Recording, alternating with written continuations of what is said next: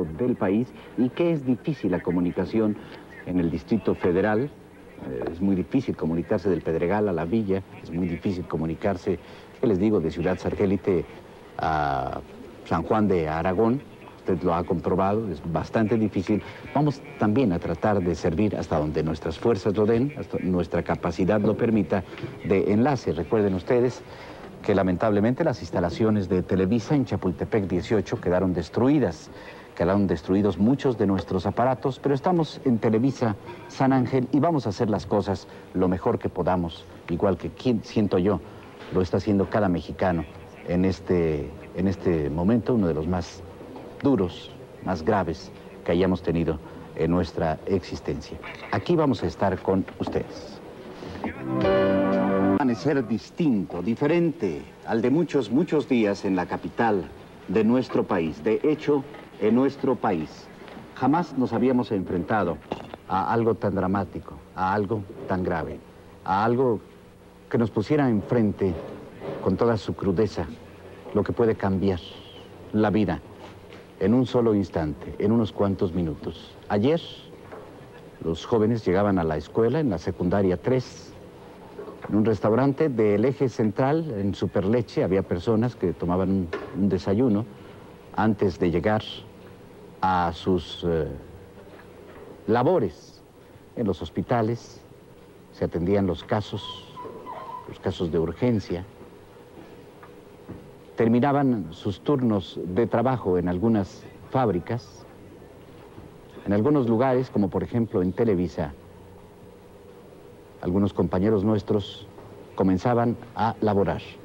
Y de pronto, en un instante, en 90 segundos, para ser exactos, todo cambió. Y este cambio seguramente afectará la vida de nuestro país durante mucho, mucho tiempo. Ya estamos ciertos. No queremos exagerar las proporciones, pero tampoco minimizarlas. Ya estamos ciertos. Estamos frente a la peor tragedia que haya vivido México.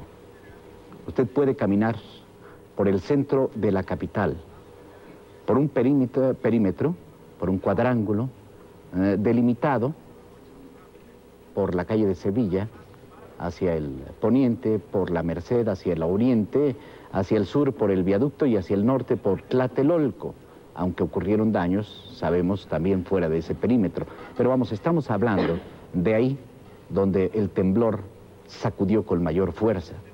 Usted puede caminar por esas calles y de hecho casi hacia cualquier lugar, hacia donde vuelva la vista, va a encontrar derrumbes, va a encontrar tragedias y va a encontrar también a centenares, de hecho a miles de personas que tratan de auxiliar a otras eh, personas.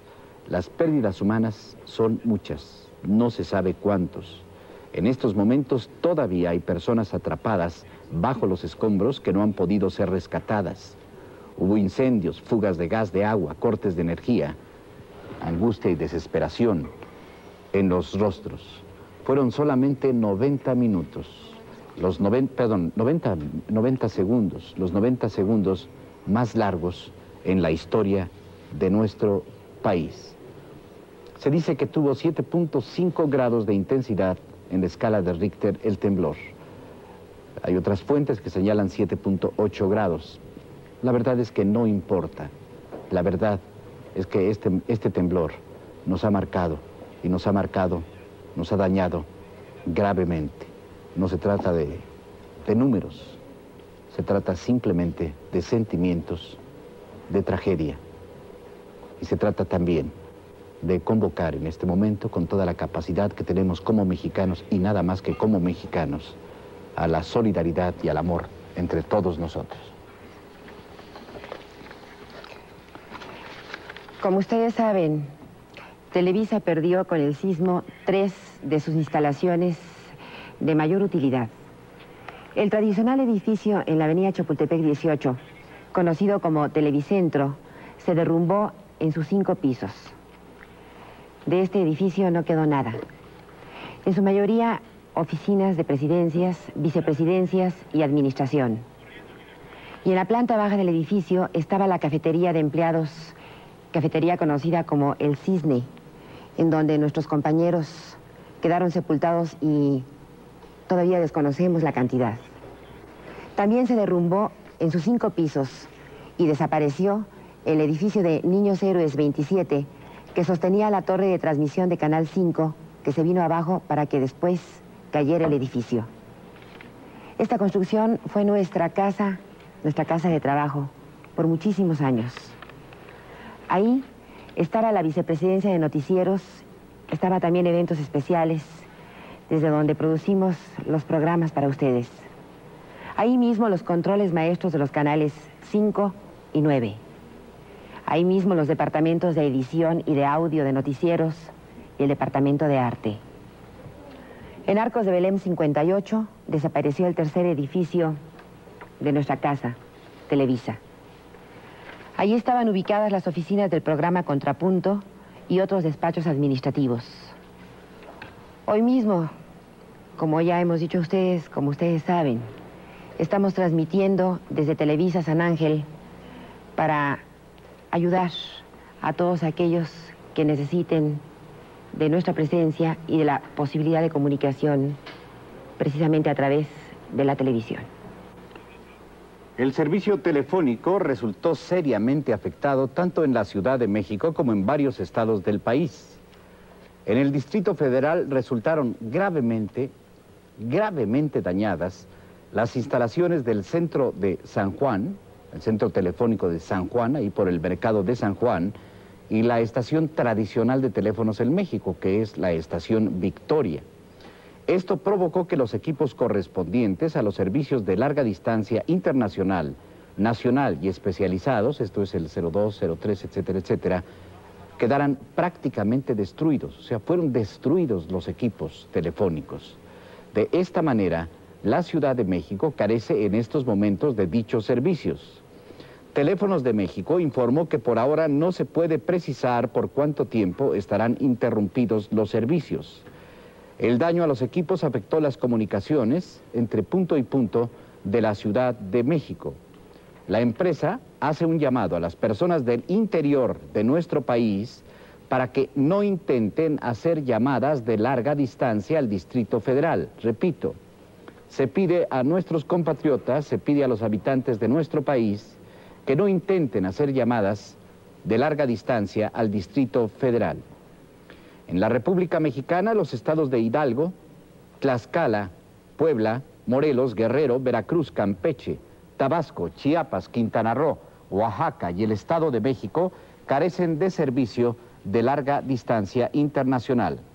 Teléfonos de México considera que estos han sido los daños más graves sufridos por sus instalaciones en la historia del país. El secretario de Comunicaciones, el señor Díaz Díaz, eh, señaló que no se puede decir para cuándo se restablecerán normalmente los servicios telefónicos.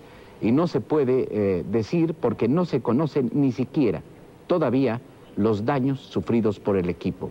Se sabe que parte del equipo quedó destruido, pero qué tan gravemente dañado quedó eh, otra parte del equipo, eso se está evaluando apenas. Una vez que se haga la evaluación, se van a adquirir a cualquier costo, a cualquier costo, los equipos necesarios, ya sea en México o en el extranjero. Pero esto va a tardar, no se sabe exactamente para cuándo podrán restablecerse los servicios telefónicos de larga distancia, tanto nacionales como internacionales. Nos estamos enfrentando y así tenemos que pensar, creo yo, en cuanto a todas nuestras actividades, a una situación que no conocíamos. Lo que ocurrió ayer en la Ciudad de México, simple y sencillamente, es desconocido, era desconocido para todos sus habitantes. Estamos ante una situación que todavía ahora nos parece increíble. Debemos actuar en consecuencia, pensar nuestros actos dos o tres veces antes de realizarlos. Lo que voy a hacer sirve a los demás, me sirve a mí mismo, sirve a mi casa, a mi país, me sirve, me funciona, sino no hacerlo. Por ejemplo, quiero repetir que no hay clases hoy, no hay clases hoy. No lleve usted a sus niños a la escuela, no hay clases. También quiero decirle que los bancos van a trabajar. van a trabajar hoy las sucursales bancarias que no están dentro de la zona más afectada por el eh, sismo. Sí va a haber servicios bancarios. Quiero reiterar, y lo vamos a hacer largamente a lo largo del programa, que hay suficientes alimentos en la Ciudad de México. Eh, desde ayer comenzaron a ser preparadas despensas para los damnificados que están siendo recibidos en diferentes eh, centros de atención, en diferentes albergues, los albergues del Departamento del Distrito Federal, por ejemplo, los jóvenes del Centro Universitario México crearon también un, refugio, ¿verdad?, en el Centro Universitario México. Sí, con la eh, posibilidad de recibir bastante gente. Tienen 58 personas hasta esta mañana. Y, tenían eh, posibilidades de muchas más. Mil. Nos dijeron que hasta mil personas pueden recibir en el CUM, en el Centro Universitario México, cuya dirección no tengo a la mano. Nicolás San Juan. Nicolás San Juan, en la calle de Nicolás San Juan. Hay ahí 58 personas, los jóvenes las están auxiliando, están eh, recogiendo mantas, están recogiendo material, medicinas y todo esto, y las están recibiendo y pueden recibir hasta mil. Hay un gran número de personas damnificadas, pero les repito, hay suficientes alimentos, hay suficiente gasolina, hay agua, siempre y cuando nos portemos como personas sensatas, cuerdas, como gente grande, habitante de esta capital mexicana.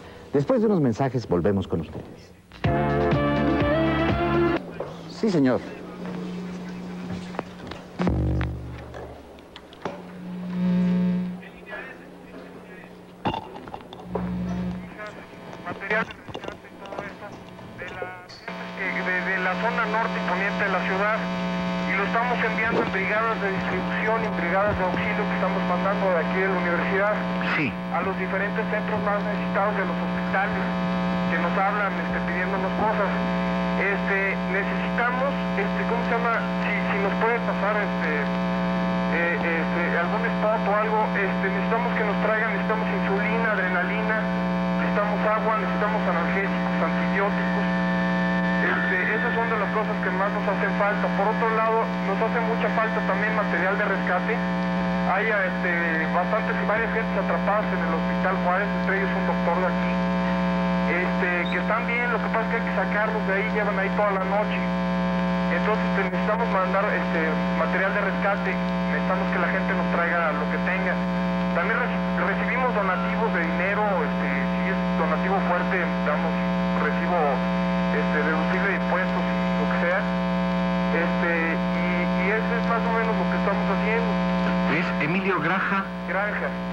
de la Universidad Anáhuac. De Acción Social de la Universidad Anáhuac. Ajá, sí, los estudiantes se han constituido en, cuadrillas, ¿verdad? De, ayuda.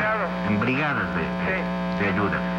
¿Dónde está la Universidad Anáhuac? En Lomas Anáhuac. Lomas Anáhuac. Subiendo por Avenida de los Bosques, de Tecamachalco, todo derecho. Sí. Llega usted a, Lomas Anáhuac. Aquí estamos concentrando todo en, el, en la planta baja de la, de la biblioteca. Muy bien, Emilio, muchas gracias. Este, entonces, ¿sí, nos puede hacer este favor? Ya no pasó al aire, usted ya habló al aire. Bueno, muchísimas gracias, señor Ochoa. Hasta luego, Emilio. Buenos días. Buenos días, hasta luego. Son los jóvenes de la Universidad de Anáhuac que desde ayer se constituyeron en brigadas de ayuda a la población. Por esto, porque pues eh, hacen falta muchas cosas, hace falta mucha ayuda, pero una, una ayuda desordenada a veces entorpece mucho más que ayudar. Por ejemplo, es importante mantener las arterias, las calles de la ciudad libres para que los servicios de emergencia, los servicios de rescate, las cuadrillas de trabajadores, etcétera, puedan transitar mm, libremente, rápidamente y puedan mejorar su, radio de acción. Ahora bien, si las personas, si las personas van a los hospitales y demás llevando ayuda, pues ¿qué va a pasar? Se van a congestionar las calles y esa ayuda en lugar de ayudar, va a entorpecer. Por eso los muchachos, los jóvenes, las señoritas de la Universidad Anagua se constituyeron en un punto de concentración de ayuda para la zona nororiente de la ciudad. Entonces ellos ya saben a dónde enviar la ayuda, a dónde hace falta, de dónde tienen peticiones de auxilio y lo hacen ordenadamente y utilizando pocos vehículos ese envío. Por cierto que tenemos varios teléfonos. Les voy a dar primero los teléfonos directos. 595 77 93. Estos son, en esta ocasión, los teléfonos directos. Tenemos varios números más. 683-2609. Por nacionales también está dañado. El servicio de telecomunicaciones resultó muy dañado por el sismo de ayer. Telégrafo solamente está funcionando al 40% de su capacidad. Las 200 estaciones para la comunicación por medio del satélite Morelos están en servicio y están retransmitiendo la señal del satélite Morelos por todo el territorio nacional. De hecho, nosotros estamos transmitiendo ahora por el satélite Morelos. Las carreteras del país funcionan normalmente a excepción de la carretera entre Guadalajara y Ciudad Guzmán, que sufrió graves daños. Las carreteras del país funcionan normalmente. El regente de la ciudad, Ramón Aguirre, ofreció ayer un panorama, ayer por la noche ofreció un panorama de desastre ocasionado por el temblor de las 7 con 19 minutos. Dijo lo siguiente. Accidentados. Tenemos en la ciudad más de 50 mil hombres trabajando para solucionar los problemas más urgentes. Consideramos que hemos atendido alrededor de 5 mil heridos y estimamos que fueron atrapados por los derrumbes alrededor de mil personas.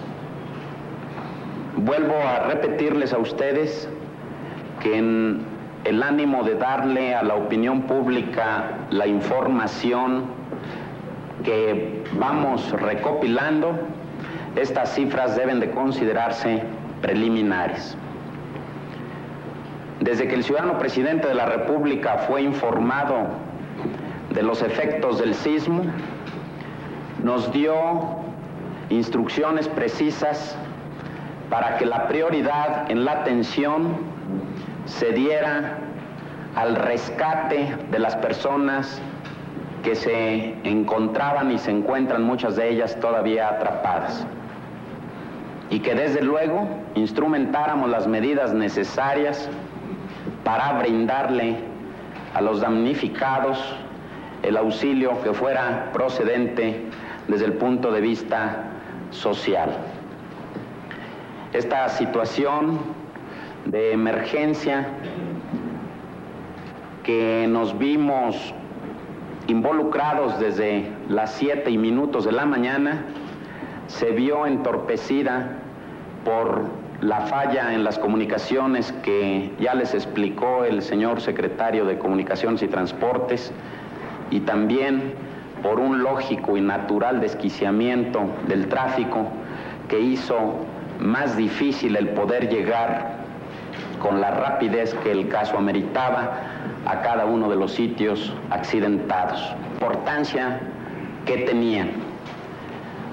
Hemos utilizado como les señalaba yo en un principio, todos los recursos con que cuenta el gobierno capitalino y estamos siendo apoyados por el ejército, como ya lo informó el señor secretario de la Defensa, y también por la Marina en la información que proporcionó el titular de ese ramo. Todos estamos abocados a resolver los problemas de acuerdo a las características de cada uno de ellos. Pero para que el efecto de nuestro apoyo fuera más efectivo, el presidente de la República ordenó la constitución de una comisión intersecretarial. Esta comisión está en sesión permanente en tanto no desaparezca que diariamente utiliza el ciudadano deben ser motivo de especial atención. Por lo que se refiere al servicio telefónico, ya el señor secretario de Comunicaciones dio la información sobre el particular y de acuerdo a esa información tenemos la certeza que rápidamente quedará totalmente regularizado ese servicio en el área local. Por lo que se refiere al agua potable, que es otro servicio que nos preocupa, quiero informarles que hemos tenido algunas fallas en la distribución de este líquido en la ciudad por ciertos deterioros que hemos sufrido en nuestras redes. De ahí que en varios días, aproximadamente de 3 a 5, dependiendo de la zona de la ciudad de que se trate, tendremos un abasto irregular. Quisiera hacer por su conducto una exhortación a la población para que en estas zonas se procure hacer el menor uso de agua durante estos días. Y con relación a este servicio, quisiera darles a ustedes esta otra información que consideramos importante. Hasta el momento no hemos detectado ninguna filtración de aguas negras en las redes hidráulicas que abastecen el Distrito Federal. Este fue el informe anoche del regente de la ciudad, Ramón Aguirre. Hoy realizó ya también un recorrido esta madrugada. Acompañando al presidente de México, el licenciado Miguel de la Madrid realizó esta madrugada un tercer recorrido por la zona dañada. Ayer había realizado dos recorridos. Esta madrugada estuvo en el Deportivo Morelos, localizado en Tepito, en el edificio del Seguro Social, ubicado en Xola y en la colonia Roma. El licenciado de la Madrid en este recorrido esta madrugada estuvo acompañado por el licenciado Manuel Bartlett, el general eh, secretario de la Defensa, Arevalo Gardoki, el contador, jefe del Departamento del Distrito Federal, Ramón Aguirre, y el director del Instituto Mexicano del Seguro Social, Ricardo García Sainz. Esta madrugada, repito, el presidente hizo su tercer recorrido. En cuanto a la información, todavía extraoficial, pero una información que resultó del recorrido realizado por el regente Ramón Aguirre en helicóptero primero y después eh, caminando, un saldo oficial de mil muertos y 200 construcciones, entre 200 y 250 que se vinieron abajo. Este es un saldo todavía extraoficial. Volvemos después de unos mensajes. Que la anormalidad permite. Las siete líneas del metro trabajarán en todos sus itinerarios. Las siete líneas del metro trabajarán en todas sus rutas. Solo permanecerán cerradas las estaciones de Pino Suárez, Zócalo y Allende. Los camiones de la ruta 100 darán servicio gratuito, ininterrumpido y gratuito, los camiones de la ruta 100. Los trolebuses funcionarán donde no esté afectado el terreno y no haya cortes de energía eléctrica. El Departamento del Distrito Federal señala también que el abasto es suficiente, que el abasto de alimentos es suficiente, pero además va a abrir 100 tiendas móviles donde se expenderán alimentos a precios bajos. Obviamente, estas tiendas móviles están destinadas a satisfacer las necesidades de aquellos que más lo necesitan. Si usted pues, puede adquirir sus alimentos donde tradicionalmente lo hace, por favor, no utilice los servicios de estas tiendas móviles. Son para las personas que más lo necesitan. Y la Secretaría de Educación Pública ordenó la suspensión de clases en todos los centros educativos de nuestra capital.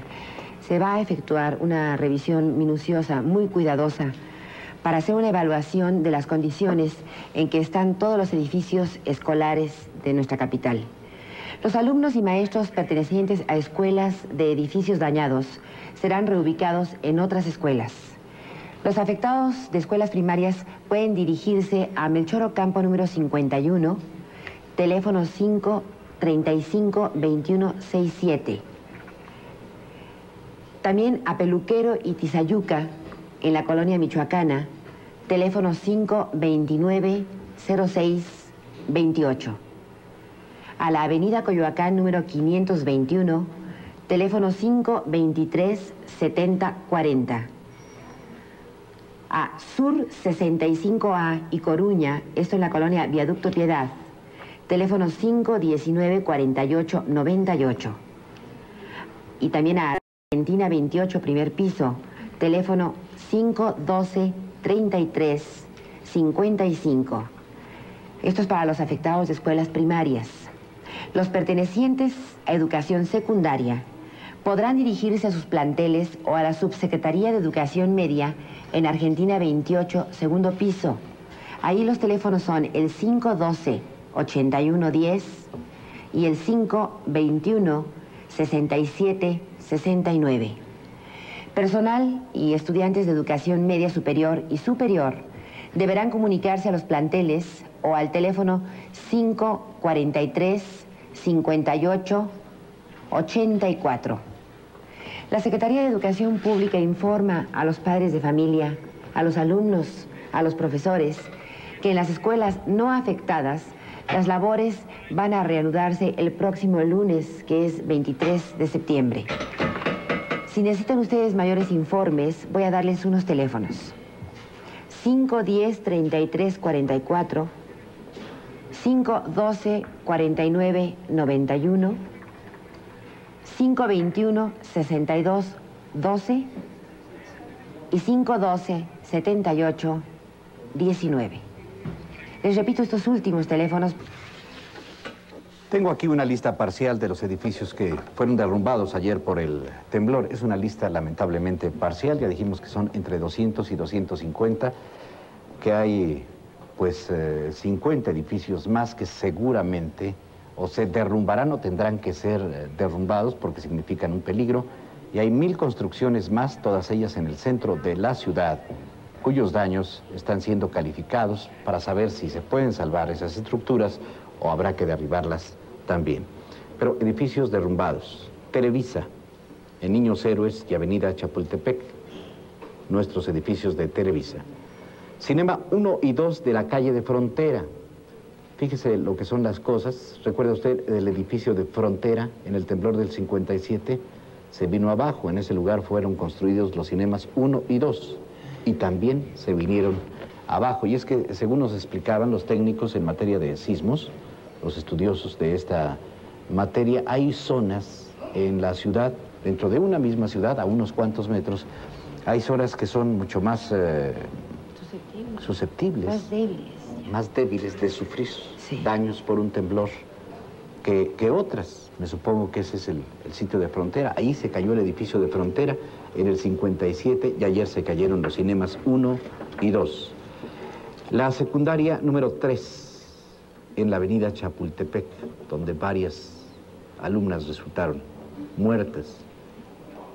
Una gran tragedia, pero pues vamos, no puedo decir por, pues sí, por fortuna, la mayor parte de los alumnos estaban en el patio a esa hora, a las 7.20 de la mañana.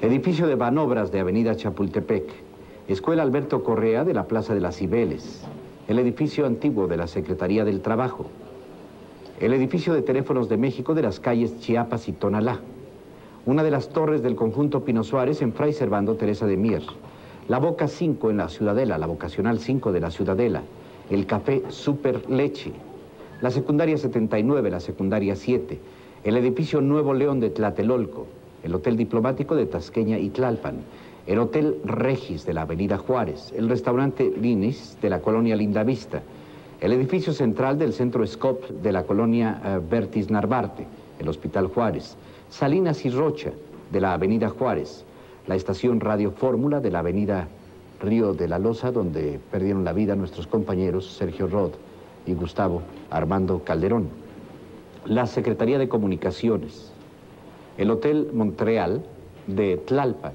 un edificio en la calle de Hidalgo, en Tlalpan, dos edificios en Fray Servando Teresa de Mier y 5 de febrero. El edificio en la avenida Juárez, en la parte aledaña a la Lotería Nacional, donde esta mañana todavía había atrapados y, y se intentaba rescatarlos. También hay atrapados, se cree que con vida, en el edificio de Conalep, en Iturbide y avenida Juárez. Tres edificios en Doctor Velasco y una fábrica. El edificio situado en Doctor Lisiaga y Vertis. La parte trasera del edificio de los televiteatros. El edificio de Televisa también en Arcos de Belén. El edificio de Arcos de Belén 23. Un edificio del conjunto habitacional de la calle Chocongo. La agencia distribuidora Datsun Nissan de Avenida Chapultepec y Sevilla. Un edificio habitacional de mesones y eje central Lázaro Cárdenas. El edificio habitacional Victoria y eje Lázaro Cárdenas el edificio Fonacot, Versalles y Liverpool, el edificio de la Confederación Patronal de la República Mexicana, o sea, Coparmex de Dinamarca y Liverpool, el edificio habitacional de Bruselas y Liverpool, el edificio de la Secretaría de Comercio y Fomento Industrial resultó dañado en el eh, sexto, séptimo y octavo pisos. También resultaron seriamente dañados, pero no, no se cayeron, no se derrumbaron, tres edificios del Centro Médico Nacional. El edificio del Fideicomiso de Nacional Financiera en Dinamarca y Avenida Chapultepec. El edificio habitacional Artículo 123 y Lázaro Cárdenas. Otros edificios con daños de consideración entre las avenidas Cuauhtémoc, Río de la Loza, Chapultepec y Eje Lázaro Cárdenas. Y el presidente Miguel de la Madrid ordenó ayer la creación de una comisión especial para prestar ayuda a los damnificados por la tragedia que estamos viviendo. El presidente dijo que lo que está haciendo su gobierno concretamente es, entre otras cosas, restablecer los servicios de agua, de luz, de teléfono, en donde estos se encuentren interrumpidos. Y también destacó que es una prioridad absoluta rescatar a los sobrevivientes de entre los escombros señaló que aunque la situación es grave, está bajo control. Nos han llamado telefónicamente muchísimas personas y sí vamos a transmitir, como no, los mensajes personales, puesto que la comunicación telefónica está interrumpida. Obviamente daremos eh, preferencia a los mensajes de carácter general para tratar de informar o auxiliar a un mayor número de personas, pero también haremos caso a los mensajes de carácter personal, porque qué caray, pues en el fondo una sociedad está constituida por individuos y en estos momentos nuestro país está incomunicado. La televisión puede servir como un canal de auxilio para esta, para esta incomunicación. Nos preguntan los empleados de oficinas del centro si van a trabajar. No pueden pasar. La zona, la zona donde el drama es más fuerte, está acordonada. O sea, hay, no se puede pasar, no pueden no pueden pasar, o sea, no va a haber trabajo en el centro de la ciudad. No van a poder abrir los comercios, no van a poder abrir los bancos, no van a poder funcionar las oficinas en el centro de nuestra capital y no pueden funcionar porque simplemente la gente no puede pasar. Hay un cordón de fuerzas eh, policíacas en torno a la zona dañada y no se está permitiendo el paso a nadie que no tenga que ver con las tareas de ayuda y de rescate. Volvemos ahora. Solamente estando inmersos en una tragedia como la que vivimos y solamente presenciando la fuerza de un sismo como el ocurrido ayer en la Ciudad de México se pueden comprender ciertas cosas. Usted seguramente recuerda un café en el eje central Lázaro Cárdenas, la antigua avenida de San Juan de Letrán, un café muy conocido, tradicional en la Ciudad de México, que abría muy temprano, Superleche. ¿Lo recuerda usted? Ahí por el cine, frente al cine Avenida, ¿no? Frente al cine, a lo que fue Cinelandia. Uy, sí. Eh, pues cerca del cine Avenida. Corazón de San Juan. en el corazón mismo de San Juan. Ya casi en el centro, casi llegando a la torre latinoamericana. Sí. A la izquierda, en la acera del lado izquierdo. Yendo la acera del lado izquierdo, Superleche. Sí. Es un café para muchos capitalinos, pero tradicional. Lo recordamos exacta, precisamente con sus vidrieras, con su letrero que antes era pintado, después lo convirtieron en un letrero luminoso. Eh, esto nos da una idea de lo que pasó ayer en la Ciudad de México. Juan Manuel Rentería, desde aquel sitio. Situación aquí, hay dos personas, hay dos personas atrapadas necesitamos oxígeno, o sea, porque ya no hay oxígeno ¿eh? para sacar a las dos personas, están completamente tapadas, o sea, hacia abajo nada más el humo no nos deja elaborar. Vemos también elementos del ejército mexicano, están trabajando junto con los bomberos, junto con los escuadrones de rescate, para buscar más víctimas, más víctimas en esta verdadera montaña de escombros, una montaña de concreto, de fierros retorcidos, de todo, y el humo verdaderamente nos impide poderles eh, seguir eh, comunicando a ustedes, ya que pues es, es asfixiante realmente respirar este ambiente. Ahí vemos a los bomberos, ahí vemos a los bomberos en acción, eh, arrojando chorros de agua para evitar que, se propague el incendio. Están tratando de sofocar eh, los incendios que han sido motivados por el derrumbe, por la rotura de tanques de gas, por la rotura de líneas eléctricas. Y esta es la situación aquí en el eje central Lázaro Cárdenas, a muy poca distancia, a corta distancia de la torre latinoamericana. Como ustedes pueden observar, se ve borrosa la torre latinoamericana, por tanto humo, tanta tierra, tanto trabajo y tanta actividad en estas tareas de rescate que se realizan en varios puntos, principalmente del centro de la Ciudad de México. Juan Manuel Rentería en lo que fue Super, super Leche. Eh, hay una empresa que se llama Oxígeno para Enfermos, Sociedad Anónima, está ubicada en la avenida Patriotismo número 87. Repito, Oxígeno para Enfermos, Sociedad Anónima, avenida Patriotismo número 87. Oxígeno para Enfermos, SA, comunica que el llenado de cilindros portátiles y el cambio de cilindros grandes, vacíos por llenos, será proporcionado gratuitamente las 24 horas de cada día en la avenida Patriotismo número 87 de la colonia Escandón. Esta mañana se proporcionaron equipos de la propiedad de oxígeno para enfermos que no han sido devueltos y urgen para atender a otros enfermos. Entonces, por favor, quien recibió tanques de oxígeno para enfermos SA y ya los ha utilizado, por favor, regresarlos otra vez a Patriotismo 87 Colonia Escandón porque hacen falta para más enfermos. Ahora, el llenado de cilindros portátiles y el cambio de cilindros grandes vacíos por llenos se hará gratuitamente durante todo el día en Avenida Patriotismo 87 Oxígenos para Enfermos Sociedad Anónima. Les damos nuevamente los teléfonos. La Secretaría de Hacienda y Crédito Público, el Banco de México y la Asociación Mexicana de Bancos hacen del conocimiento del público en general, de la clientela y del personal de cada una de las sociedades nacionales de crédito, que hoy mismo se operará normalmente en todas aquellas sucursales que no hayan sufrido daños que les impidan dar el servicio. El número de sucursales que regularmente operan en la zona metropolitana es 902. Hoy van a funcionar 831. En el caso de Nacional Financiera se informa que dará servicio de depósitos y retiros en las oficinas del Banco Internacional.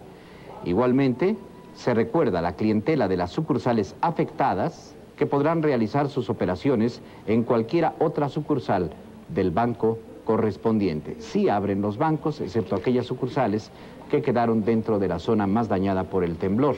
Nacional Financiera realizará sus operaciones a través del Banco Internacional. Nuestra compañera Talina Fernández estuvo anoche en el multifamiliar Juárez, uno de los edificios del multifamiliar Juárez eh, se derrumbó. Talina Fernández. Estamos en la parte posterior del edificio, la que da al jardín. Aquí los voluntarios están pasándose cubeta de mano a mano. Aquí no han llegado las palas mecánicas y más de 4.000 jóvenes, criaturas, se están abocando a la tarea de rescatar a sus semejantes. Se nos informa que en este segundo nivel en este segundo nivel están tratando de rescatar a una señora y una niña que todavía están vivas. Aquí a nuestro lado izquierdo, la situación nos indica que hay dos personas vivas. Esto es en el edificio Presidente Benito Juárez, en el multifamiliar. Estamos entre los escombros. Y por acá podemos ver...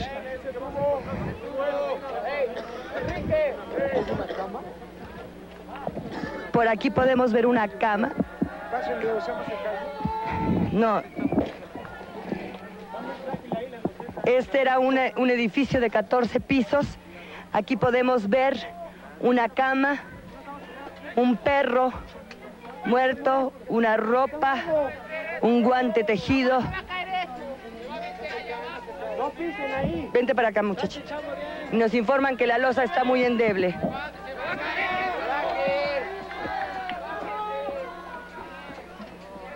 ¿Cuál es su nombre, joven? Héctor González Trinidad, servidor. ¿Y usted a qué se dedica?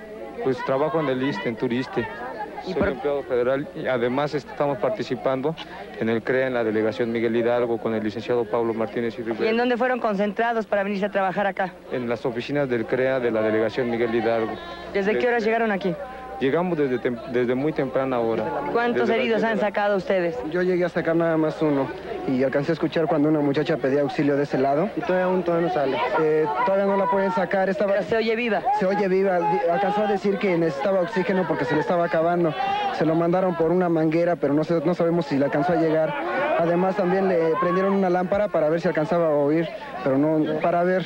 Disculpe, si hay manera de conseguir más gente, de, verdad se necesita bastante, ¿eh? porque se ha ido mucha. Somos ahorita muy pocos para levantar todo este escombro. necesitamos gente, manos. ¿Qué más necesitan aquí? Gente, gente sobre todo. ¿Herramientas de qué tipo? Picos, palas, algo parecido, algo así. Mazos, sobre todo mazos. Uno por uno, porque si no, no oímos, por favor, ¿sí? Se necesita picos, palas, mazos, eh, medicamentos también sobre alguna cosa que se necesite. Se necesita mucho material, se necesita mucho material para trabajar porque así no podemos hacer nada. Cubetas, ceguetas, marros. Marros sobre todo. Marros sobre todo y picos para salvar a estas de muchos que todavía están Que vengan a ayudarnos, que porque mucha gente se ha ido, que nos vengan a ayudar. Tijeras cortadoras de varilla también se están pidiendo aquí en el multifamiliar Juárez. Estamos con el licenciado Pablo Martínez. Licenciado, ¿cuál es la situación? ¿Cuántos edificios se cayeron? Se han caído de esta unidad dos edificios, se mantienen en pie la mayoría, pero de hecho tres están totalmente en condiciones infuncionales de plano seguramente habrán de ser derruidos. ¿Qué cantidad de pisos tenía cada edificio? Pues como usted podrá ver los pisos, en el caso concreto de este edificio que está a nuestras espaldas, tendría aproximadamente 25 pisos. ¿Usted sabe cuál es la población de esta unidad habitacional? Tiene una población de derechohabientes del Instituto de Servicios y Seguridades al Servicio del Estado de aproximadamente 30 mil personas. Licenciado, ¿a qué hora se empezó el rescate?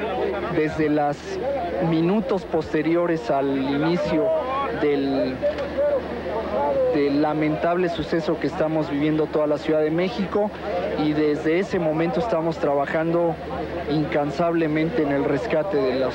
Licenciado Martínez, ¿hay gente viva allá adentro? Sí, indudablemente hay quizás más de 100 gentes vivas que aún podrán ser rescatados. ¿Se oyen sus voces? Sí, evidentemente hay momentos en que tenemos que callar a los cientos de brigadistas jóvenes para que se escuchen los llamados, los lamentos y, las, y el pedimento de auxilio de tanta gente que está aquí. Me decían, señor licenciado, que la población no dejaba entrar las palas mecánicas por temor a que maltrataran a sus seres queridos. No, no, no precisamente ello. Creo que la motivación fundamental de las gentes ha sido la preocupación por llevar el rescate de la mejor manera. Aquí específicamente con el apoyo de dos compañías constructoras que con la mejor voluntad y en un acto de extraordinaria solidaridad hemos logrado resolver ese problema. Estamos aquí en una van del rescate del ISTE. Señor oficial, háganos el favor de explicarnos cuál ha sido la situación, cuántos heridos han sacado ustedes de esta unidad habitacional Benito Juárez. No, los heridos no tenemos la cantidad exacta, porque son muchas las unidades que están corriendo, sacando la sociedad está colaborando la Cruz Roja, están colaborando todos los, todos los grupos y no podemos contar todas las unidades. ¿Cuál es su nombre, señor? Juan Jurado para servir. ¿Y usted qué función tiene aquí? Estamos organizando nada más el rescate este, de los cadáveres nada más.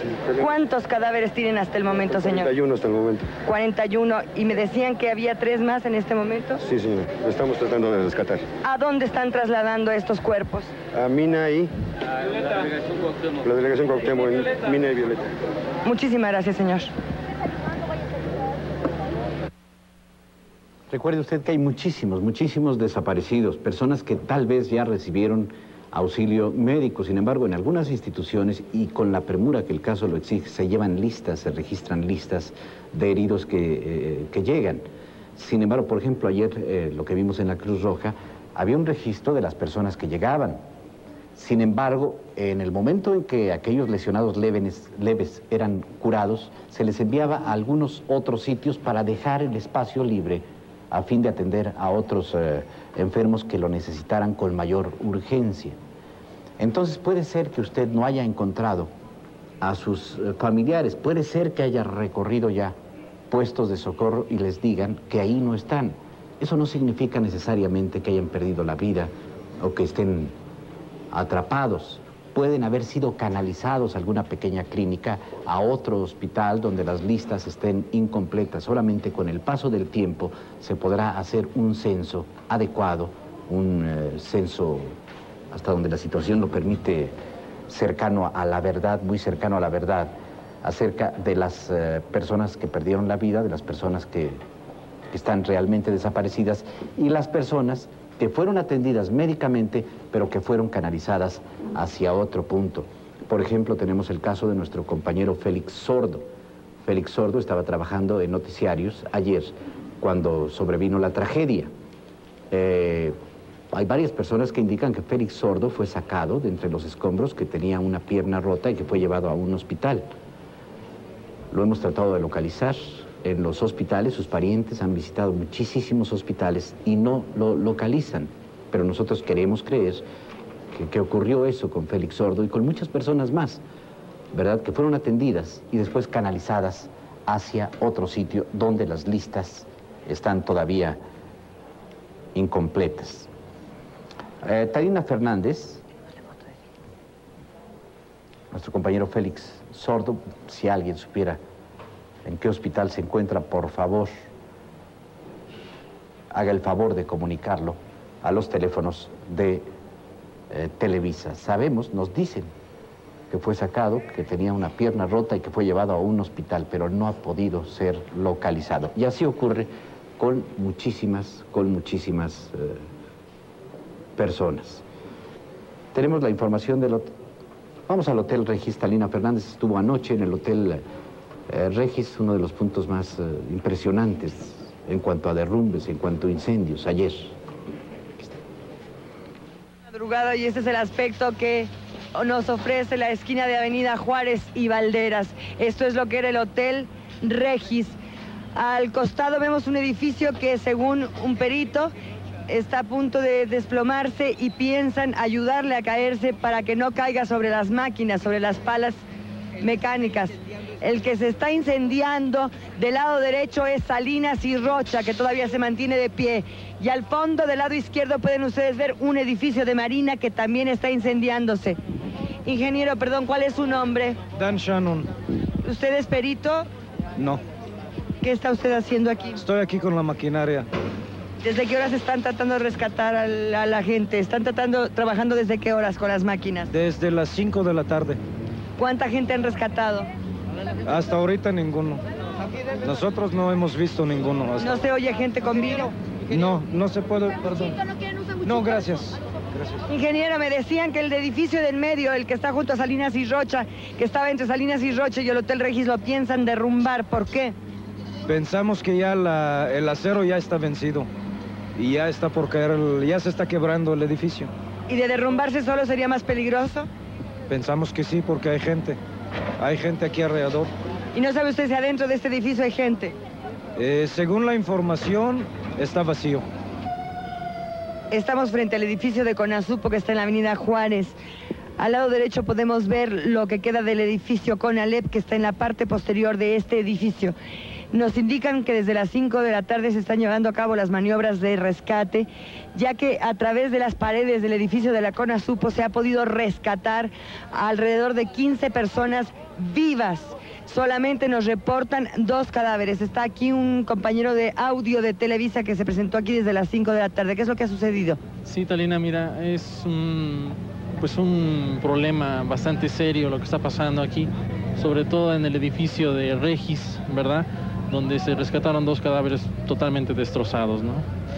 Eh, aquí afortunadamente eh, parece ser que toda la gente que están rescatando es viva, excepto los dos cadáveres que mencionabas, ¿verdad? Pero toda la gente que ahorita ya está confirmado que es viva. Nos indican que todavía hay alrededor de 30 personas allá adentro. Más, más de 30 personas, ¿eh? Todavía. Muchas gracias. Material de esta madrugada. Vamos a unos mensajes, volvemos con ustedes. Hicieron por parte de las autoridades, el edificio C del conjunto multifamiliar Juárez quedó destrozado, lo están, lo están reportando, lo acabamos de ver cómo quedó el multifamiliar eh, Juárez, dos edificios pues de plano se vinieron abajo y tres más habrá que derrumbarlos. Edificio en Belisario Domínguez y Chile, el edificio se acaba de derrumbar. les estamos diciendo desde el principio de este programa que el peligro no ha pasado. El peligro no ha pasado porque muchos edificios quedaron en un precario equilibrio, eh, quedaron seriamente dañados. Seguramente o se derrumbarán o tendrán que ser eh, tirados porque constituyen un, peligro, además roturas de gases, etcétera, etcétera. Queremos reiterar una vez más algo que pues yo siento que es muy claro para todas las personas. Una tragedia no constituye un espectáculo.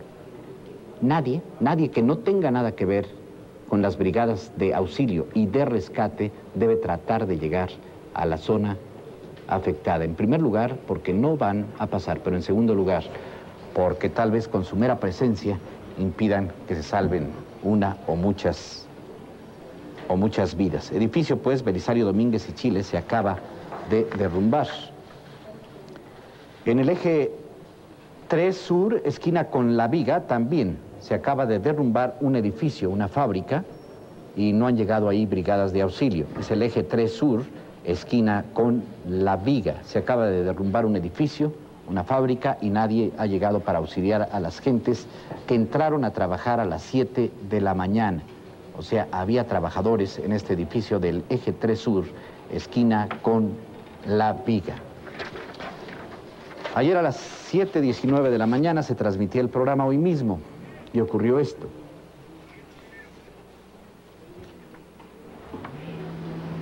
Está temblando, está temblando un poquitito. No se asusten, vamos a quedarnos. Les doy la hora. 7 de la mañana, 19... Ah, Chihuahua. 7 de la mañana, 19 minutos 42 segundos, tiempo del centro de México. Sigue temblando un poquitito, pero pues vamos a tomarlo con una gran tranquilidad.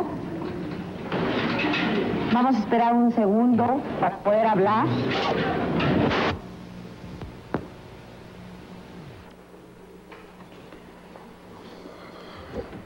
Y, y ahí empezó. Y ahí empezó. Ahí empezó el, esos malvados 90 segundos, esos 90 segundos que fueron un siglo. Fueron eternos. Eh, se pierde la conciencia de, de lo que sucede en esos instantes. Después, cuando vuelve uno a pararse, a poner los pies en la tierra, quizá en pedacitos va uno recuperando lo que sucedió. Nosotros no tuvimos una conciencia real de lo que estaba aconteciendo en nuestra casa hasta que logramos salir por uno de los pasillos hacia Río de la Loza.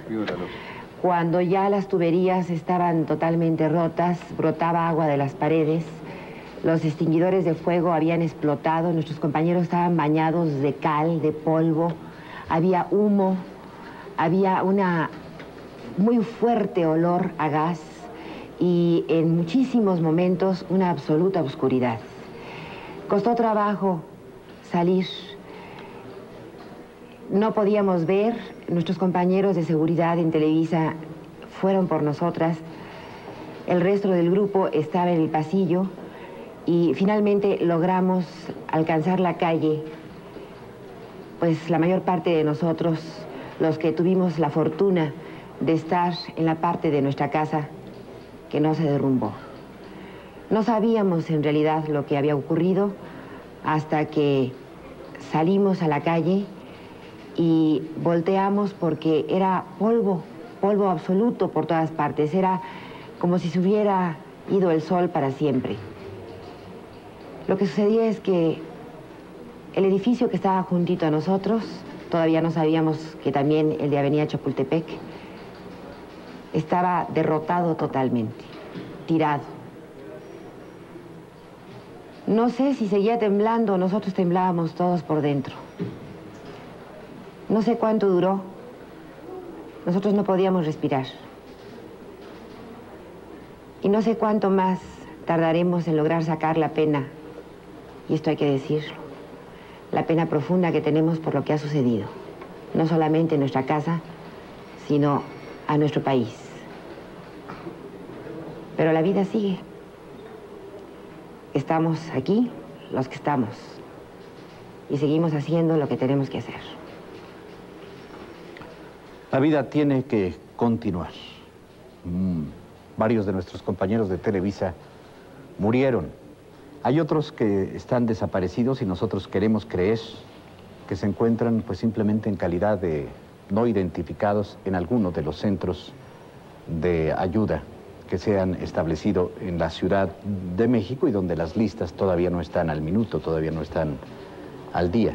Murió, entre otros compañeros, nuestro compañero Ernesto Villanueva, que fuera jefe de información de hoy mismo durante mucho, mucho tiempo, durante...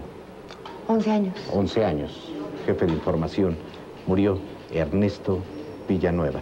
Nuestra nuestro pésame para la familia de Ernesto y desde luego nuestro pésame para todas las familias que hoy están de luto en nuestro país. Entre nuestros compañeros que no han aparecido, en discoteca, Eduardo Arreona Flores. Técnico de iluminación, José Fernando Pérez Velasco. Alberto Alarcón, en la asistencia a los diarios en información a la presidencia de Televisa. Ernesto Briceño, él estaba ubicado en el edificio de Arcos de Belém. Alejandro Enrique Sierra Romero, de Televisa Chapultepec. Joaquín Saavedra, nuestro compañero floor manager del estudio D. El ingeniero David Pastrana Rodríguez, del máster del Canal 2. Luis Alberto Delgado, del máster del Canal 5. Eugenio García Campos, del máster. Y Don Lino, de limpieza en Televisa Chapultepec.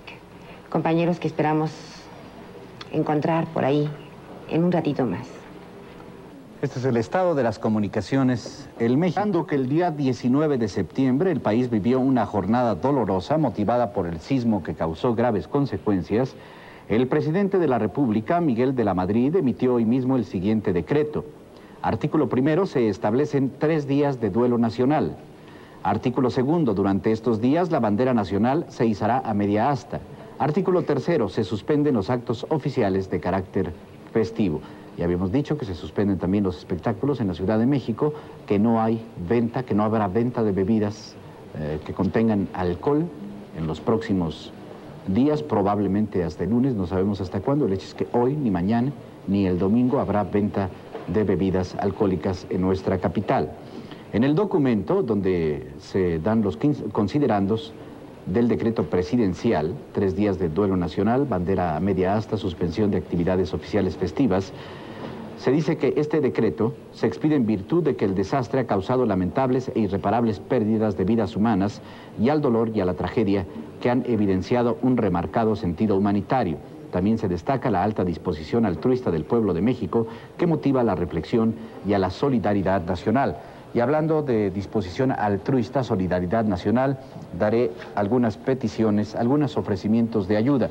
Queremos decir que entre la lista de desaparecidos, compañeros nuestros, eh, señalamos al ingeniero David Pastrana. Él, para tranquilidad de sus familiares, está trabajando.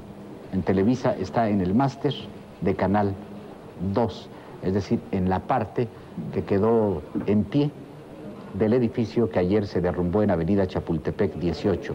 El ingeniero David Pastrana está trabajando en estos momentos en el máster del Canal 2 y está, está bien.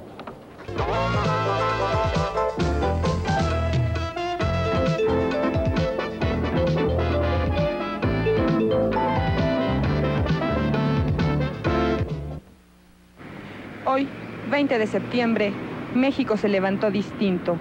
La sensación de un vacío muy especial nos invade, pero a pesar de ello, la vida continúa. Como seres humanos, somos capaces de sobrevivir. Contamos con una capacidad ilimitada de seguir adelante, de continuar o en los casos menos afortunados, de volver a empezar. Por eso hoy mismo ha salido a las calles para mostrarles a ustedes que la vida en México sigue. Estamos en la estación del metro Auditorio y vamos a platicar ahora con algunas de las niñas que están listas para ir al colegio a pesar de que se nos ha informado que el día de hoy no va a haber clases. ¿Cuál es su nombre? Torres Amudio Nora. ¿Y el de usted? Lucía Reyes Zúñiga. ¿Ustedes eh, no fueron informadas de que el día de hoy no iba a haber clases? Pues no. Mm, ¿De dónde vienen ustedes? De la escuela 260. ¿Y dónde viven? En San Isidro. ¿Cuánto tiempo hicieron ustedes para llegar aquí? Media hora. ¿Y cuánto les falta para llegar a su escuela? Como, como 15 segundos más o menos. ¿Cuál fue la información que ustedes recibieron? ¿Que deberían de presentarse en la escuela o no saben lo que va a suceder? Pues no, pues en la televisión vimos que no teníamos que ir a la escuela, pero pues este, nosotros vamos a ver qué tal si aquí sí tenemos que ir. En el caso de ustedes, la vida sigue normalmente, es decir, no se han encontrado con ningún problema, han hecho lo que acostumbran a hacer. Sí, gracias a Dios que sí. ¿Qué han hecho ustedes, por ejemplo, el día de, el día de hoy, a qué hora se levantaron? A las seis. ¿Y cuáles son sus planes? Pues ir a la escuela y seguir nuestra vida de siempre. Señora, eh, por su rumbo, ¿dónde vive usted? Yo soy mamá de la niña y este, vivimos en la colonia Reforma Social. Eh, todos los días la vengo a dejar a la escuela y ahorita pues vamos a ver si hay clases y si no la regreso a la casa. ¿En su colonia no sucedió ningún problema? Gracias a Dios no, nada. ¿Qué hicieron el día de ayer ustedes? Bueno, pues yo nos, nos tocó precisamente aquí en el metro el temblor y ya después ella se fue para su escuela y yo me fui a mi trabajo, pero en vista de que la luz se fue no pudimos trabajar y nos regresamos. ¿El día de hoy piensa usted trabajar? Pues si podemos trabajar, si ya todo está normal, sí. Hay que ir a ver qué nos dice. Señorita, ¿usted de dónde se dirige? A las lomas de Chapultepec. ¿Usted eh, sufrió algún problema debido a lo, que, a lo que ocurrió ayer? No, ninguno. ¿No pasó nada por aquí? No, definitivamente no. ¿Ha hecho su vida normal? Normal. ¿A dónde va usted? Voy a trabajar aquí por reforma. Señor, ¿usted no tuvo ningún problema para poder llegar hasta acá?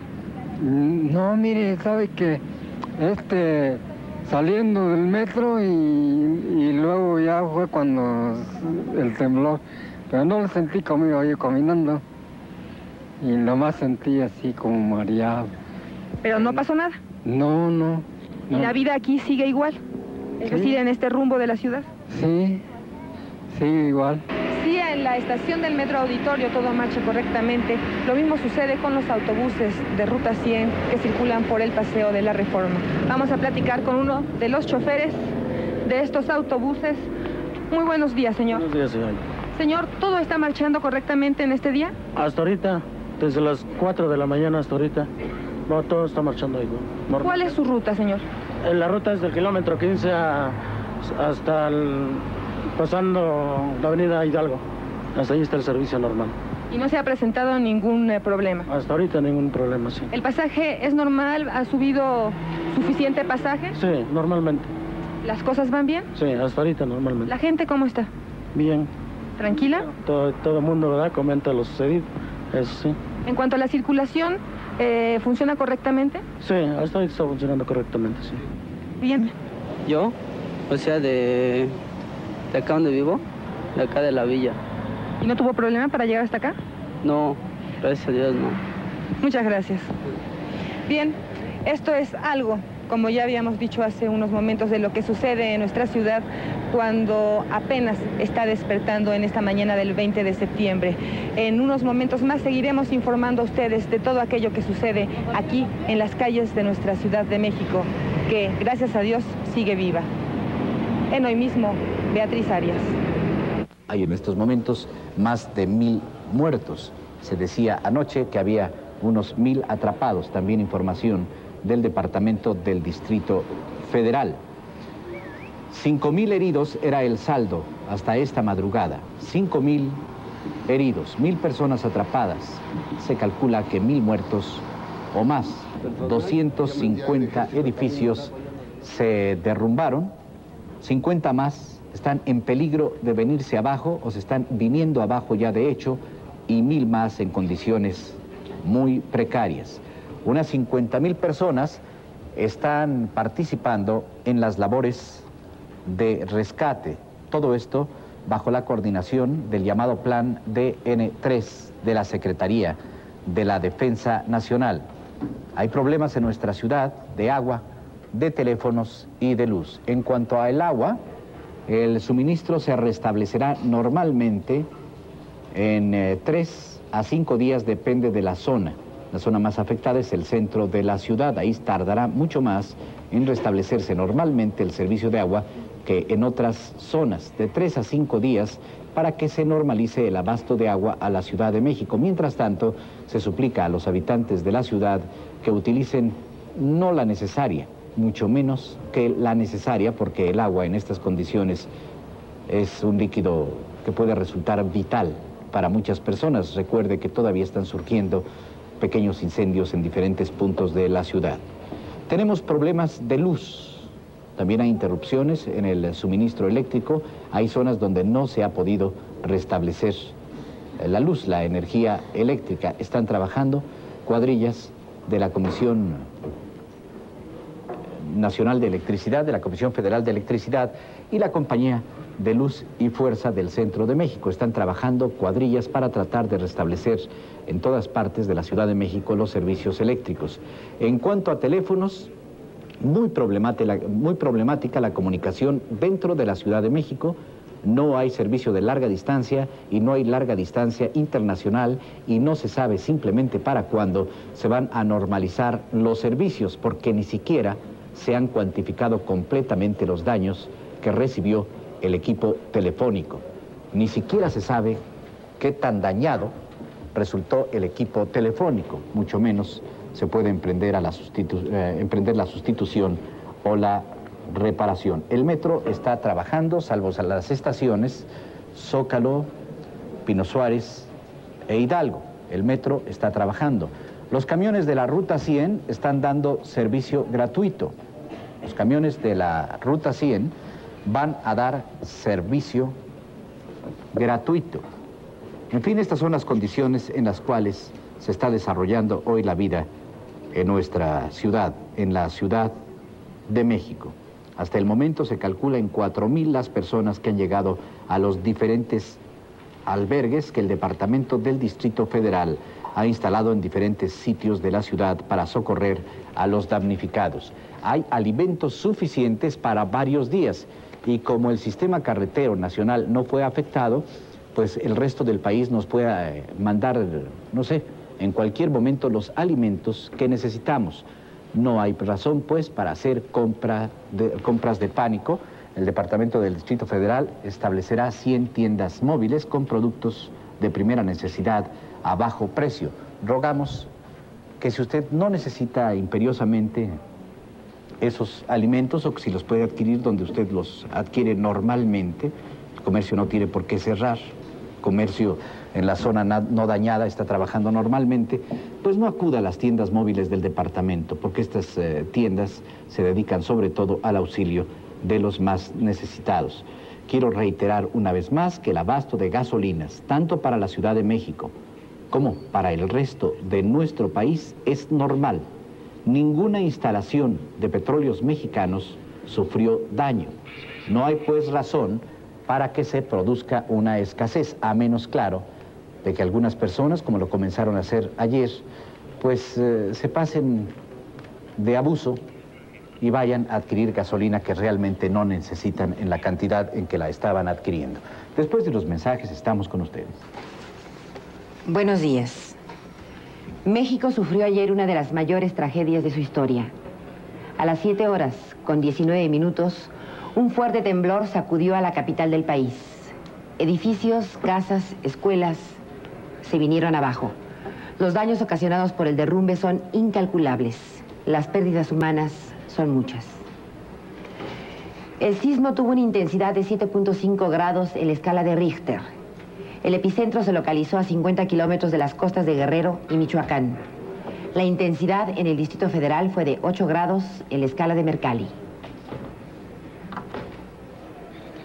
Televisa perdió con el sismo tres de sus instalaciones de mayor utilidad.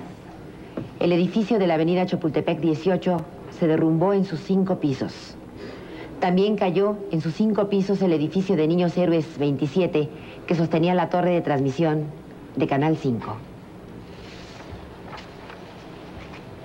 El regente Ramón Aguirre ofreció un panorama del desastre ocasionado por el temblor.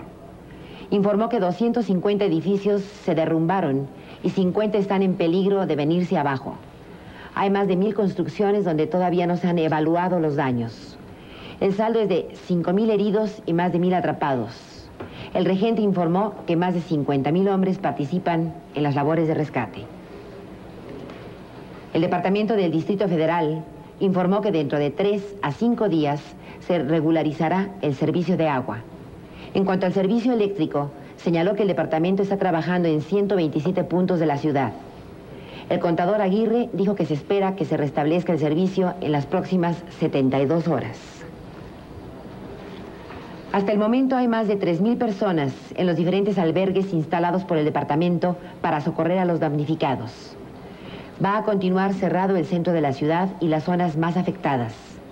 El regente Ramón Aguirre hizo un reconocimiento a la solidaridad mostrada por los capitalinos.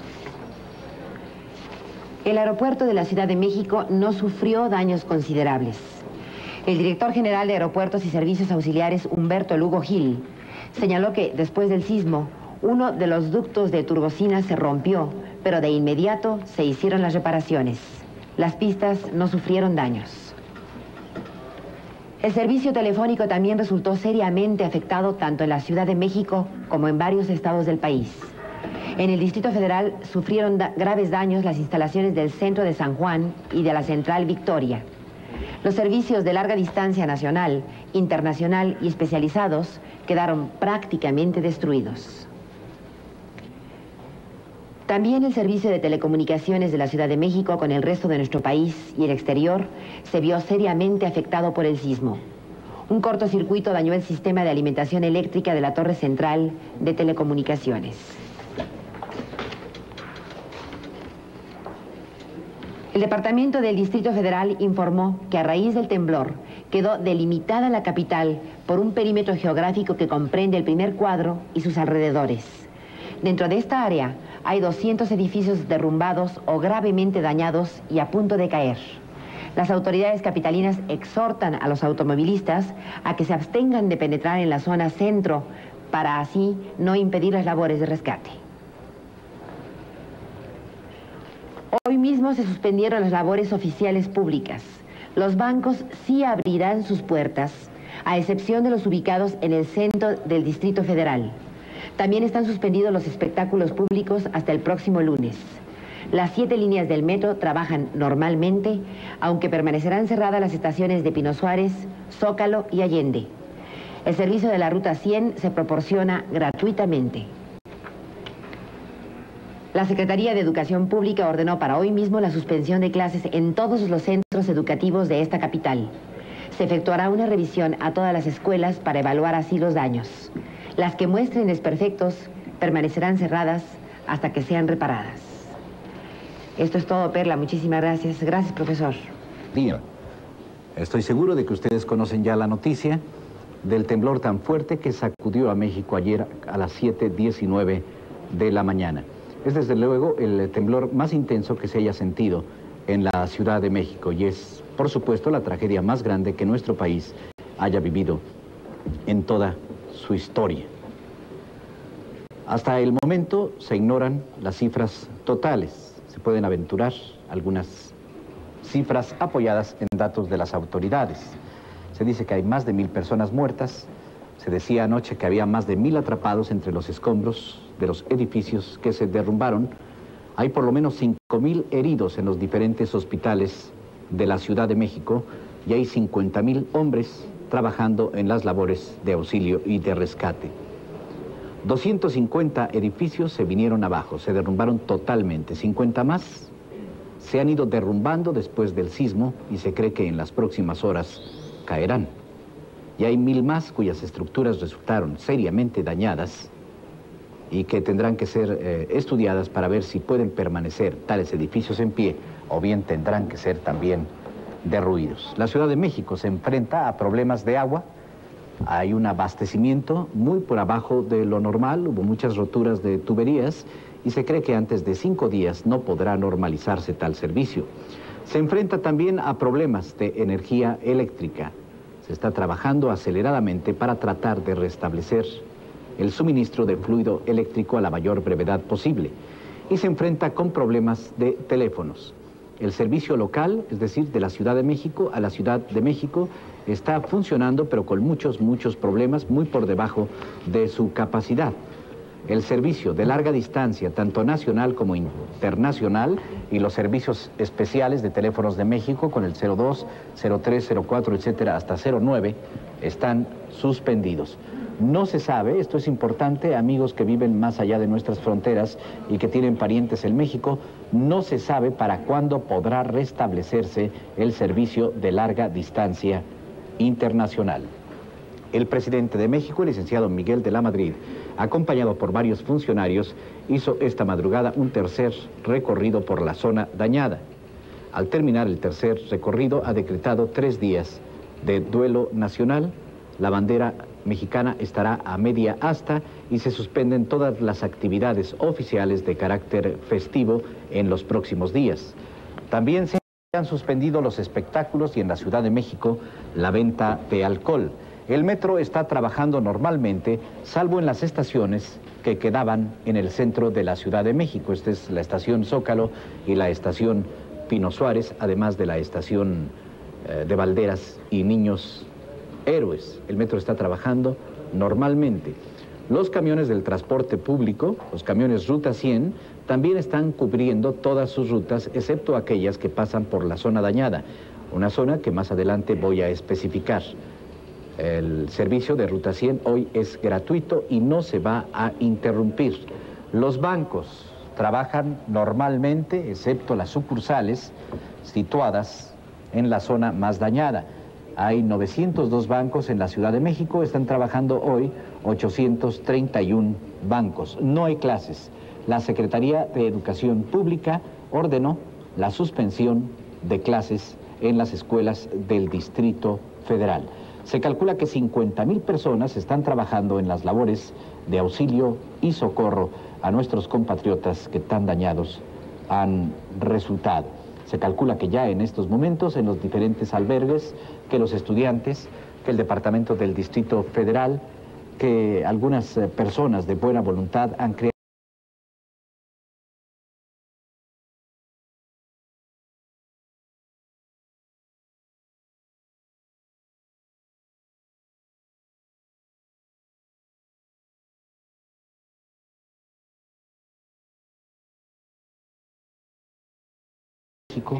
en el último día.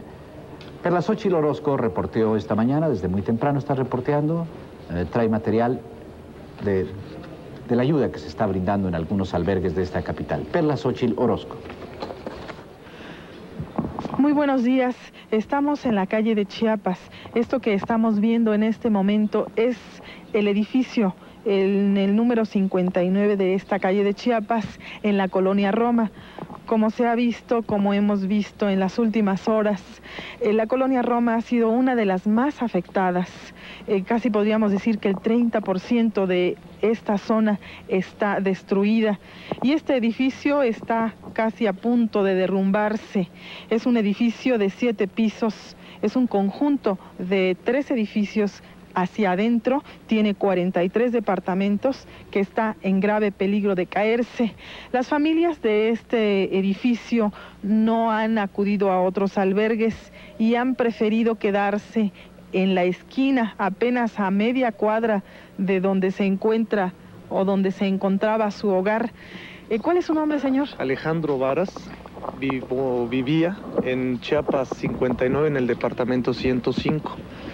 ¿Y por qué quedaron, decidieron ustedes quedarse aquí en la calle? Mira, eh, primero los, todos los vecinos de la calle, no solamente los del edificio del número 59, nos organizamos para este, evacuar toda la zona. Entonces todas las casas están evacuadas y solamente nos quedamos uno o dos eh, familiares por, por, ah, por casa, por departamento, para este, vigilar de la rapiña que se estaba dando, incluso a la hora de que veníamos desalojando, pudimos ver algunas personas que se querían meter hacia nuestras hacia nuestros departamentos y pues con la organización y la unidad de todos nosotros logramos echarlos para afuera y solicitamos la intervención de la policía, aunque esta llegó un poco después y en ese sentido pues nos organizamos.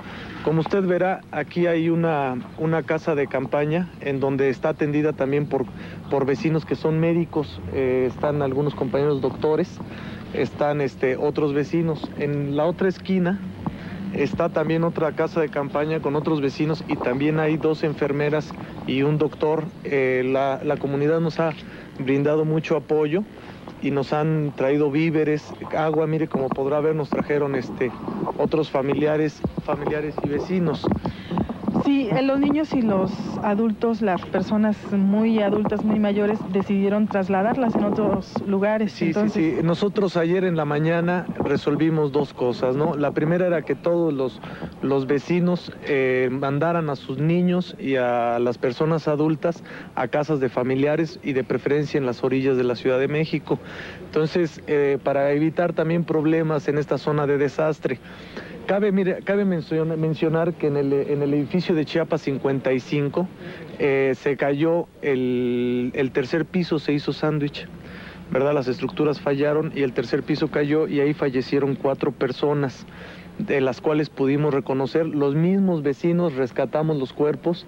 El, el señor este, Julián eh, vecino de ese edificio junto con otros vecinos lograron este, rescatar los cuerpos, dos, eh, perdón, uno de una señora y dos niñas, los rescataron vivos y desgraciadamente cuatro personas fallecieron. Las personas que fallecieron eh, respondían al nombre de Iván Meneses Anaya, Eduardo Maya Trejo, Miguel Ángel Gómez Jaramillo y Manuel Meneses Orozco.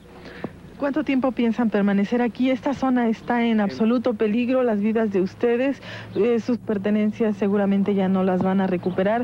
¿Y, qué, van a, qué van a hacer aquí más tiempo? ¿Qué es lo que están esperando? Mire, lo que nosotros estamos esperando, como se lo señalábamos a, autoridades de la Secretaría de Gobernación y de la Policía del Distrito Federal, es que solicitamos que vengan eh, peritos, eh, arquitectos, para ver si se puede apuntalar el edificio y en ese sentido tratar de que podamos recuperar algunas de las pertenencias. Todos, la calle de Chiapas número 59. Sí, y en el número 55. Y las otras casas también están en esa condición, están esperando que vengan para que les den ayuda a los peritos. Si cae, el, edificio número 59, nosotros creemos que va a abarcar no solamente esta cuadra, sino las, la de atrás y la del frente. Sí, porque como vemos hay un edificio, de la parte de frente está un edificio y en la parte de atrás está otro que pertenece a la al mismo número de aquí, de, la calle de Chiapas. Además, en el, eh, el 59 recargan edificios de la calle de Córdoba y recargan edificios que dan hacia la parte de San Luis Potosí. Entonces, entonces nosotros entonces nosotros estamos solicitando esto porque no es solamente el riesgo nuestro. Claro, es de otros, de, otros inmuebles. Muy bien, y, y, en este momento no tiene ninguna otra emergencia. No, por el momento no. Sí quisiéramos señalar algunas cosas. Mire, la primera es que en ese edificio definitivamente hubo negligencia también por parte de los, del dueño porque eh, nosotros no solamente tememos a que se caiga, sino que estalle. Arriba hay tanques estacionarios que usted se imaginará la capacidad para abastecer a los 41 departamentos. 43 departamentos, porque hay dos penthouse, 41 departamentos y, dos penthouse.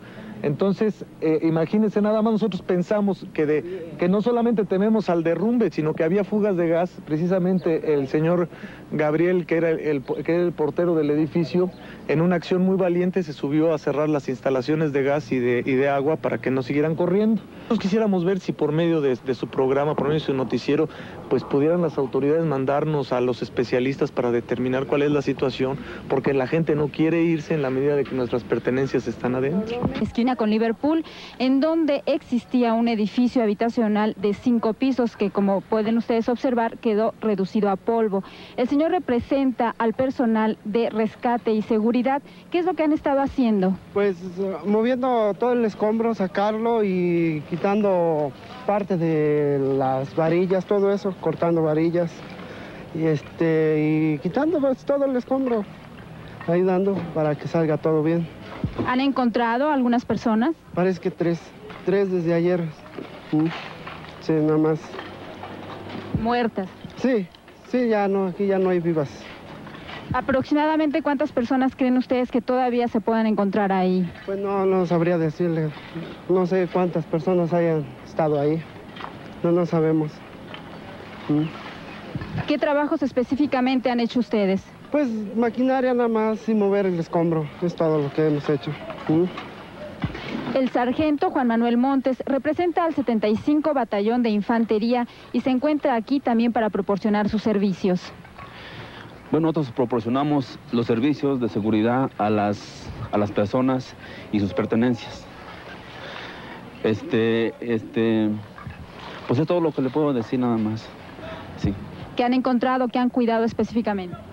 Bueno, hemos encontrado muchos objetos, ¿verdad? De, todo lo, que corresponde a aparatos este, eléctricos, este, grabadoras y todo, todo, todo eso, ¿verdad? Únicamente este, que eh, hemos este, tratado de encontrar los cuerpos de los cadáveres y este, nada más hemos, de, de las 24 horas que tengo yo aquí, hemos encontrado seis, nada más, de niños, señoras y señores. ¿Cuántas personas más calculan ustedes o cuerpos que se encuentran en este lugar? Pues según aquí informaciones que tenemos de las personas, parece que todavía quedan como unas seis personas más en el edificio de mero abajo. Me decía usted que están cuidando los objetos o pertenencias. ¿A dónde los van a llevar? ¿A dónde van a ser situados?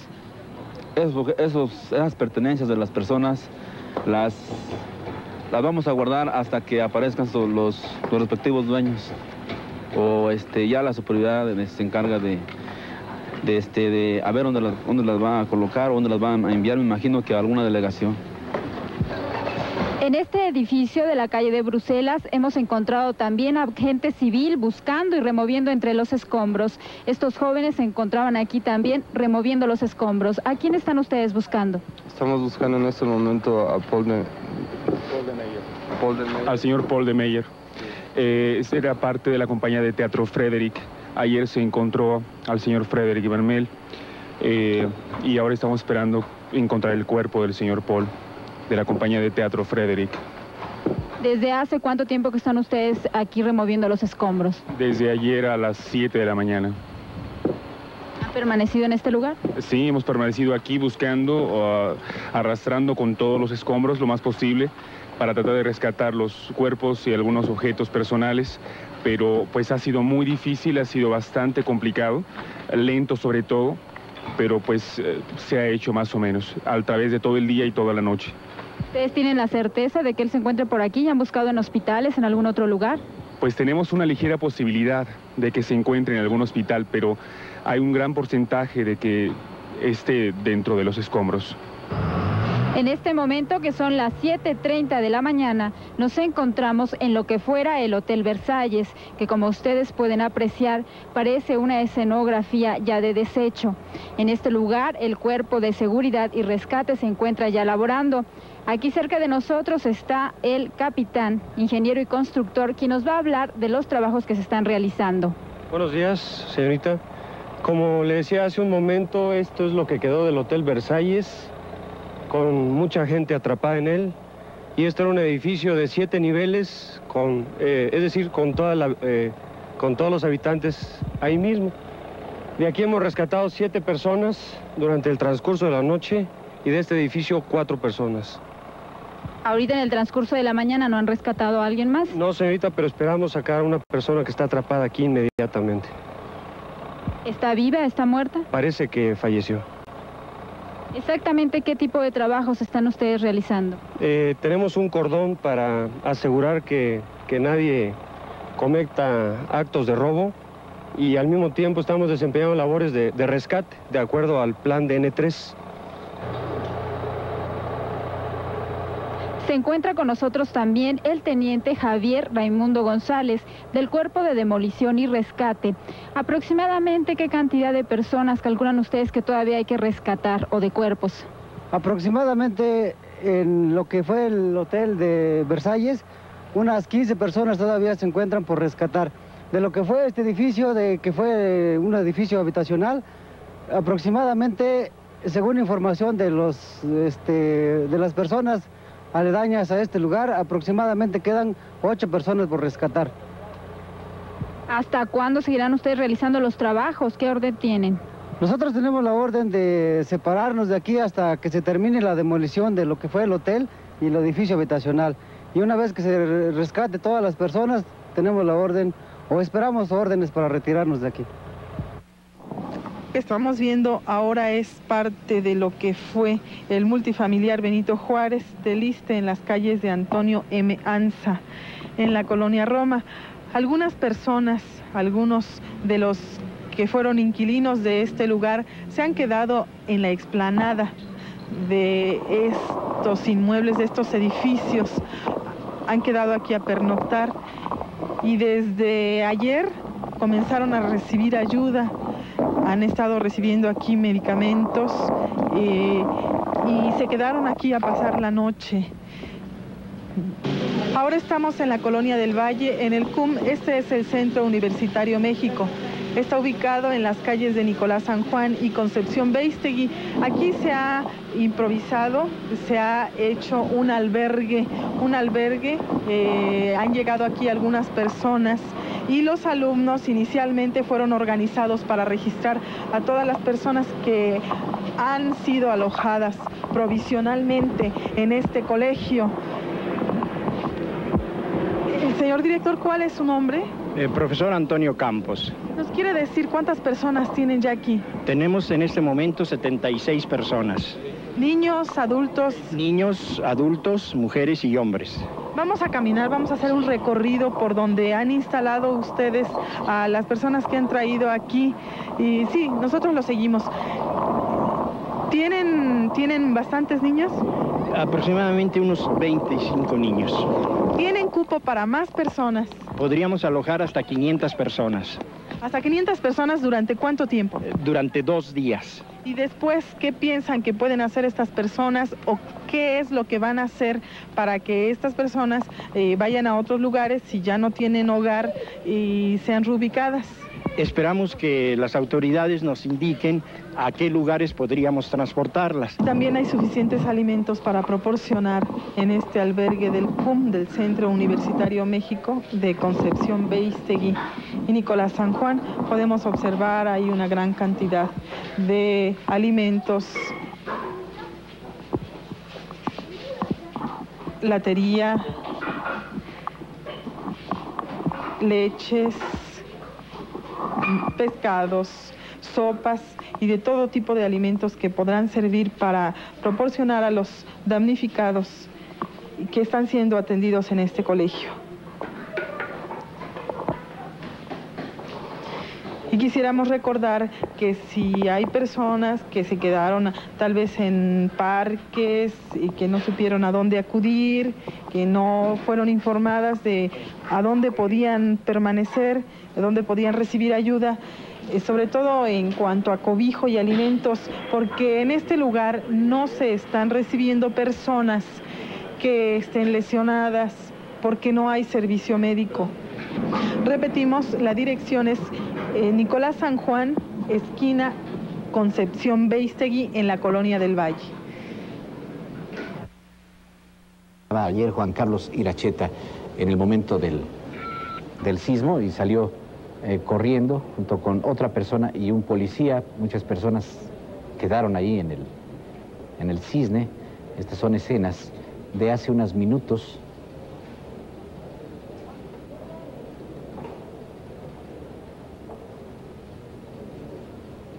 Una persona que, pues más de 24 horas después de estar atrapada ahí, estaba con vida, está con vida.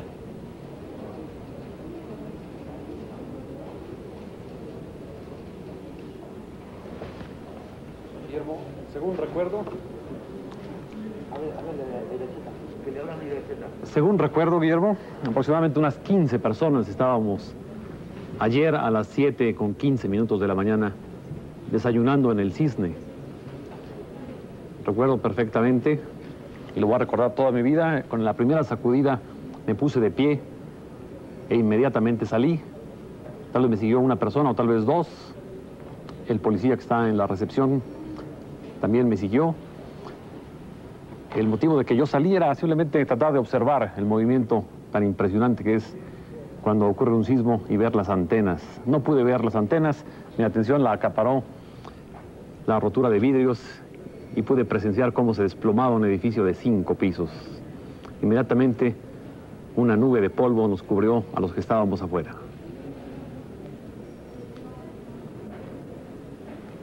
Lo que vemos son escenas de hace unos cuantos minutos en lo que fue la cafetería de Televisa en El Cisne.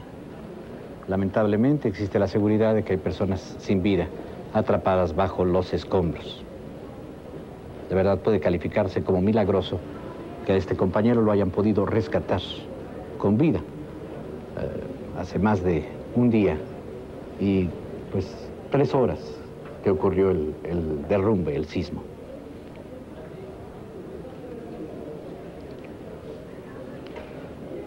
Hay muchos atrapados todavía en muchos derrumbes.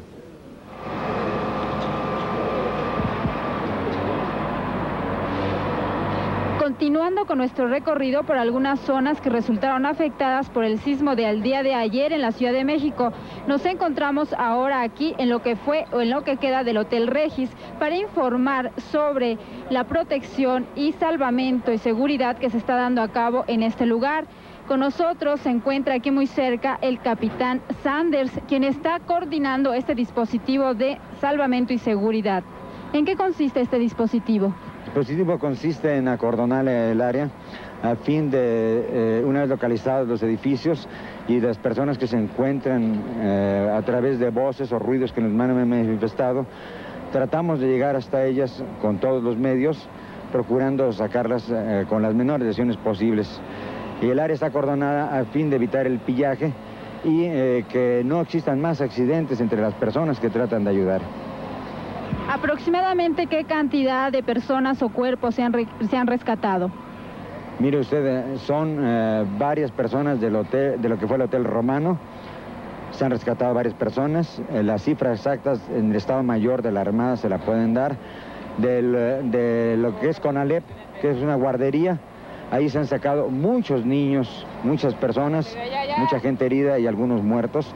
Ahorita todavía hay niños, eh, es decir, hay gente viva que estamos tratando de rescatarla. Entonces, hasta terminar eh, la jornada podremos tener una evaluación de cuántas personas hemos rescatado. No hemos querido hacer eh, mayores movimientos para poder sacar por algún indicio a las personas que se encuentran vivas. Pero todo esto está coordinado por la Secretaría de Marina Armada de México. Aquí específicamente donde se encuentra el Hotel Regis, me comentaban que esta mañana sacaron a un señor. No, fue una señora a las seis y media de la mañana. Entre los escombros la vimos y la pudimos sacar con vida. Está siendo atendida ya. Pienso que en la Cruz Roja de Polanco, ahí está siendo atendida. Hay personal del resguardo aduanal que hemos sacado, pero desgraciadamente ya fallecido. Las personas que se encuentran aquí con vida todavía, ¿a dónde están siendo llevadas? Eh, a la Cruz Roja, que es el centro de auxilio que está establecido, o el nocosomio más cercano, para que su, más, eh, su atención más rápida y eficiente, independientemente de la Armada de México tiene ambulancias para ser evacuados el personal y llevarlos al centro médico naval. En eh, lo que fue el casino naval, ya se sacaron dos personas vivas, desgraciadamente una falleció después. Eh, hemos sacado de lo que fue la Secretaría de Marina, que es aquí a un lado donde están estos escombros, sacamos cuatro personas vivas, personal de la Secretaría de Marina. Y de otros edificios hemos estado sacando también personas vivas. Desde luego, dentro de lo que cabe, eh, con los menores daños posibles. Nos encontramos en estos momentos en los escombros de lo que fuera el edificio de Conalep. El oficial Noé Ruiz Márquez, quien representa a la seguridad que está trabajando en este lugar, nos va a hablar tanto de la seguridad como del rescate y de sus acciones llevadas a cabo.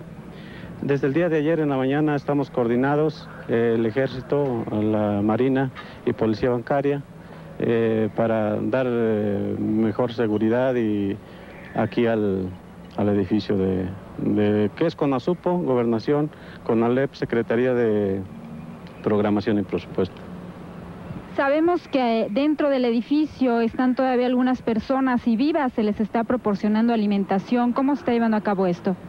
Pues es una coordinación que lleva el ingeniero, el ingeniero Germán Izquierdo, que está, coordinando ¿verdad? para pasarles medicamentos, eh, oxígeno, eh, todo se está proporcionando adecuadamente. ¿Las personas ustedes están seguros de que están vivas? Pues sí. ¿Aproximadamente cuántas personas hay ahí dentro? Hay contacto con, con las personas. Hay contacto, más o menos calculo yo que, que hay unas 90 personas. Sabemos que aquí también estaba la guardería de Conasupo y varios niños se encontraban ahí. ¿Cuántos salieron? ¿Cuántos aún están dentro? ¿Qué pasa? No podría informarle porque realmente no, desde los niños no, no tengo ninguna seguridad. Se han rescatado algunos, pero no sabría decirle. ¿Cuándo piensan que estas personas que se encuentran atrapadas en este momento en estos escombros van a ser rescatadas? Pues no sabría decirles, está trabajando, está trabajando el ejército, la marina.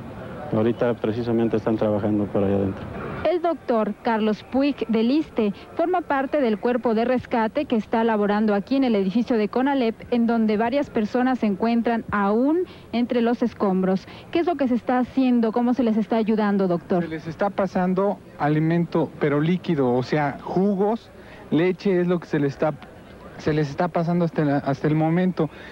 Y se está tratando de sacar lo más rápido que se pueda a la gente. Se le está pasando también oxígeno con mangueras, desde unos tanques de oxígeno que están en, en la parte de adentro del Conalet, se le están pasando oxígeno con mangueras. Se le está pasando tres minutos de oxígeno y cinco se les quita porque van a, van a hacer una abertura para poder sacar a todos los demás que están atorados. Son aproximadamente los que están atorados como 50 entre vivos y muertos. O sea, tenemos comunicación con ellos. Están constantemente hablándonos. ¿A través de cómo, es la comunicación?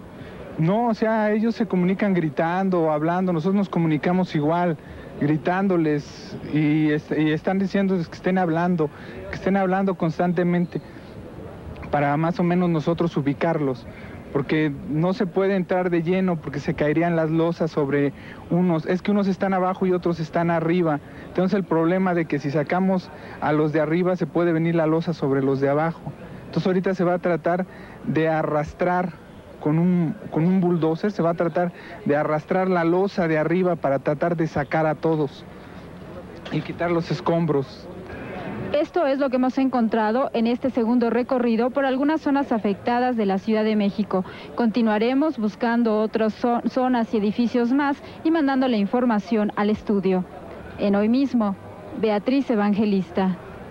De los efectos del sismo, nos dio instrucciones precisas para que la prioridad en la atención se diera al rescate de las personas que se encontraban y se encuentran muchas de ellas todavía atrapadas.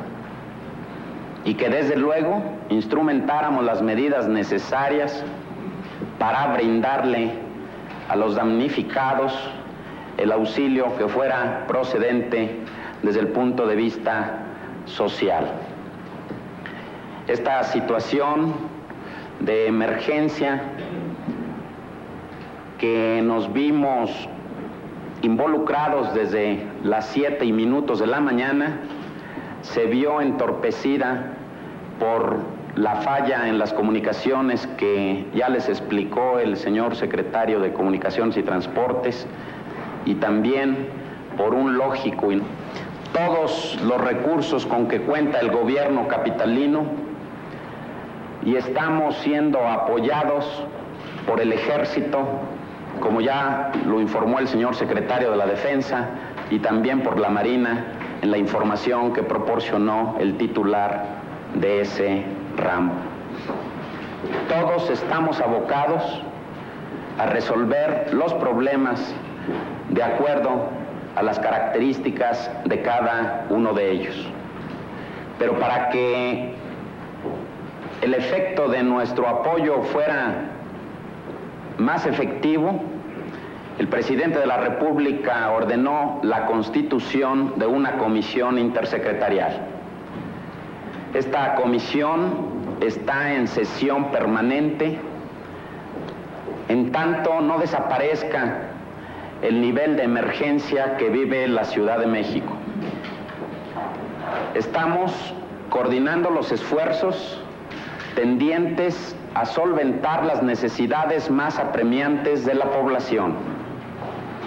Y después del rescate de los posibles ciudadanos que se encuentran abajo de las estructuras caídas y del apoyo a los damnificados, hemos establecido un sinnúmero de acciones que quiero dar a conocer a través de ustedes a la opinión pública.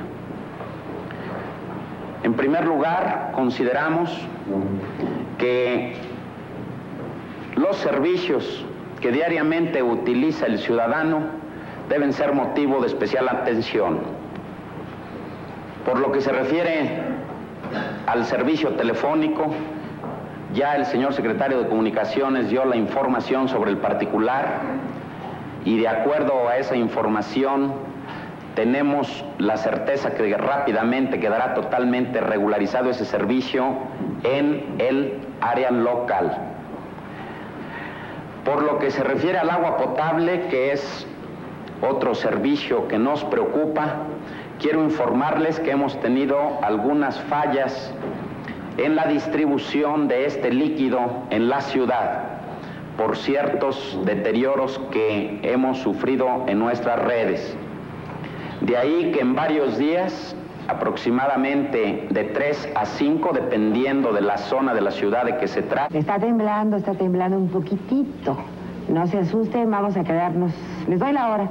7 de la mañana, 19, ah, Chihuahua, 7 de la mañana, 19 minutos 42 segundos, tiempo del centro de México. Sigue temblando un poquitito, pero pues vamos a tomarlo con una gran tranquilidad.